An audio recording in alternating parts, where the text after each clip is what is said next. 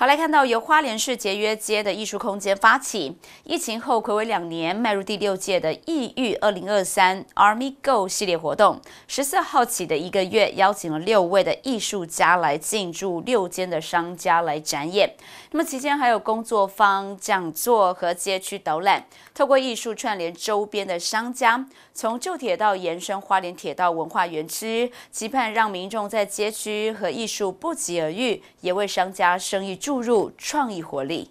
以西班牙与 Amigo 朋友之意发起 Amigo 艺术活动，疫情解封后终于再度启动。由节约街的花莲日日好地下艺术空间发起，今年加入离方文化共同策展，串联周边商家。第六届异域二零二三 Amigo。邀请六位艺术家在六个空间展演，十四日正式揭幕。开幕首日快闪驻店创意市集，邀几十个在地手工创作者，在花莲市节约街和博爱街，甚至跨越中正路到一心街和大屿街，以异域为主题，实践民众在街区以艺术不期而遇的精神，也为商家的生意注入创意活力。二零二零年办的第五届，那后来疫情的关系就停了两年。那今天很高兴在疫情后，我们可以再持续办理阿米狗。那阿米狗主要是。呃，花莲日日哦，还有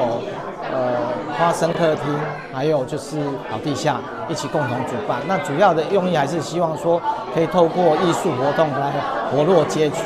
尤其是在疫情期间，你会发现说，在节约街区的，其实开始店家开始开始改变了啊，甚至也看到说人潮像呃相对以往是比较少了。所以我们希望透过在疫情后，让这个街区可以再重新复苏。